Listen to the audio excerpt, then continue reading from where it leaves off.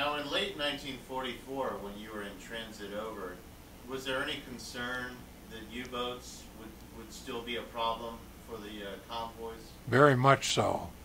Uh, the U-boats were a constant threat, and we uh, were drilled constantly on what to do if we were hit or try to protect ourselves. Of course, we were well protected by elements of the U.S. Navy, and uh, fortunately, nothing happened uh, to deflect our uh, our trip to Europe.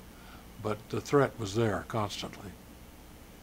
And do you recall what kind of ship or liner you were on at that point in time?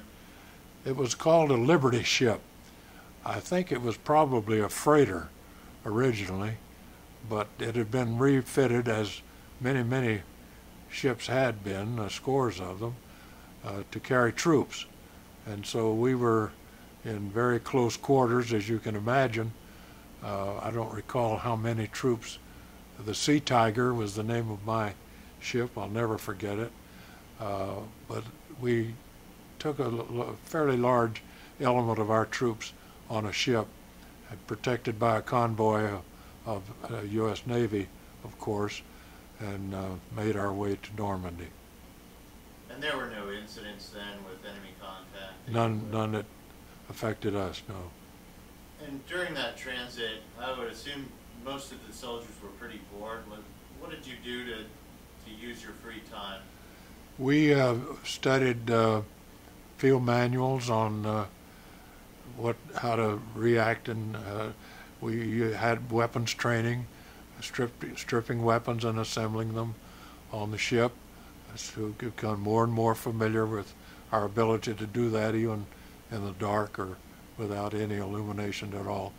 Uh, we were kept busy in doing things appropriate to our mission uh, in Europe. And then, do you recall, did you have quarters in the hold? Were you able to go up to the top deck in order to get air? I think we had uh, officers had a little better quarters, but not much better. Uh, but my impression is, Brian, that almost all of us were down below decks. Uh, I don't know of any quarters above uh, the main deck. And was there a lot of seasickness or illness? There was a yes, a more than normal amount uh, because number one, most of the men had never been on a ship before.